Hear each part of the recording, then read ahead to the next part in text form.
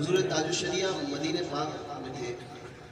हज़रत के खादिम ने हज़रत से सवाल किया कि हुजूर क्या आपने हजूर अली सलाम को देखा है?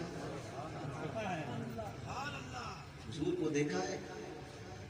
अब जवाब ताजुशरिया का सुना अलिया कामिलीन वली वो होता है जो अपनी विदायत को छुपाता है बहुत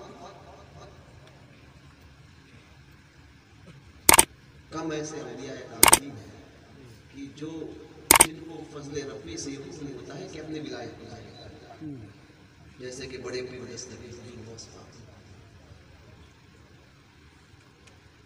मगर अमूमन जो है वली अपनी विलायत को छुपाता है।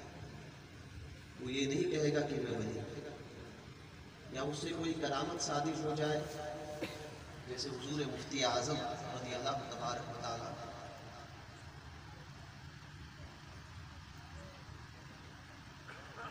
बहुत सी करामतें हैं। कभी उनसे मुफ्ती आज़म ने, आप मुफ्ती आरिफ साहब को, मुफ्ती रहमत अली साहब को, या जितने यहाँ पर उलमा है, सब सबके नाम नहीं जानता हूँ, सैयद साहब।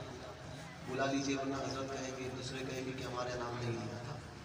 सबको, जिसको बुलाते हैं, आपको मगर मसल के आला हज़रत का पाबंद।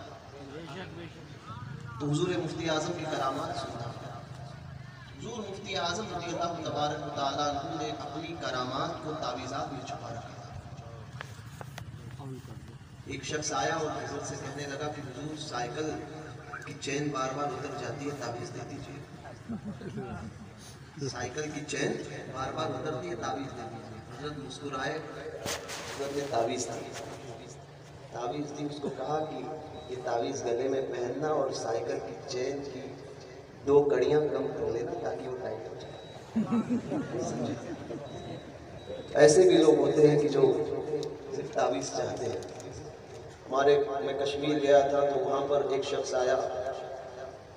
तो उसने तावीज़ मांगी तो मैंने कहा किस लिए चाहिए तो कहता है कि भैंस दूध कम दे रही है दूध ज़्यादा हो जाए। खैर कैफ उसकी अकीदत थी, उसको तावीज़ जो कर दे नहीं पड़ी, दूध ज़्यादा दे करके तो उलियाए कामिलीन जो है वो अपनी करामात को छुपाते हैं हज़रत ने ये नहीं फरमाया कि हाँ मुझे हजूर की जियारत होती है और इतनी मरतबा हुई है हुई है। हज़रत ने जवाब दिया, जुमला देखिए शरिया का अपनी बात भी कही और अपने आप को छुपाया। हज़रत जवाब देते हैं कि दुआ करो कि अल्लाह हुजूर करम फरमाते रहे।